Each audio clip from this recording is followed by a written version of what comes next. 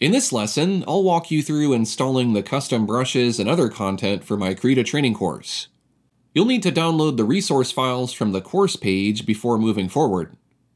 This is a compressed folder that you'll need to extract using a free application called 7-Zip or by using the extractor built into your operating system. You can do this by right-clicking on the file. Once extracted, you'll be able to install the contents. You'll be installing these files into Krita using various methods. I will explain what all of this custom content can do throughout the course.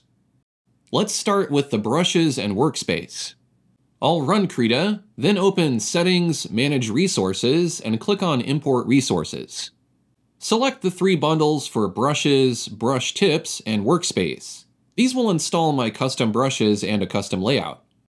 You'll see the brushes appear in the Brush Presets panel. There are also categories or tags you can use to filter out only my brushes. In the top right menu, you can choose to enable and disable any of the brush bundles you have installed into Krita. You can also go to Settings, Manage Resource Library to activate or deactivate these. Next, we'll activate the Custom Workspace from the Window menu. This will arrange the Krita UI to match my demonstrations. The remaining content needs to be placed inside of one of Krita's application folders.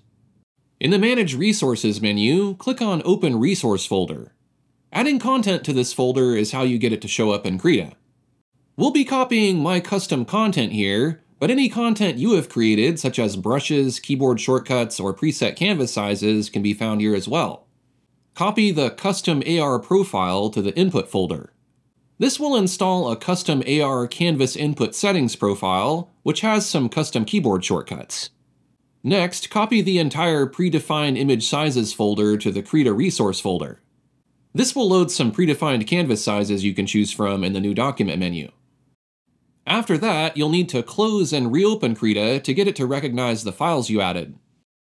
Next, in Window Configure Krita, choose the Custom AR Canvas Input Settings profile. Then, in Keyboard Shortcuts, choose the Custom AR profile. This is a set of more keyboard shortcuts. Once you are finished, you should now have a workspace that very closely matches the one I am using in my course.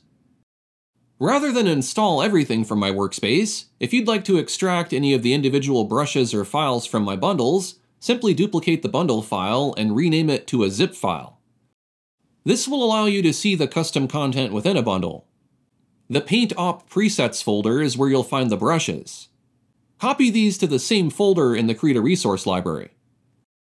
It's important to note that you need to use underscores rather than spaces in the file names of your brushes, otherwise they may not be detected by Krita when you import them. Simply rename the files in the File Explorer if you need to. There may also be brush tips you need to copy over to the corresponding brushes folder.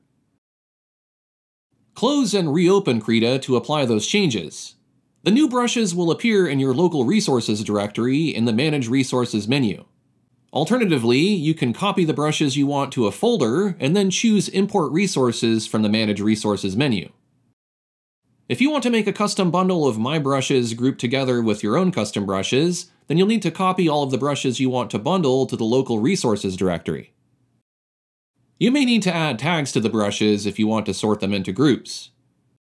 It will be easier to make the bundle if you deactivate some of the other unwanted brush bundles first. Choose Create a Bundle and select all of the brushes you want to package together. Click on the arrows to move the brushes from the Krita application on the left to the new bundle on the right. Be sure to enable embed tags to save those with the bundle as well.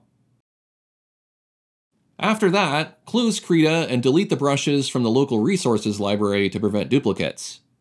Next, reopen Krita and import your newly created bundle from the Manage Resources menu.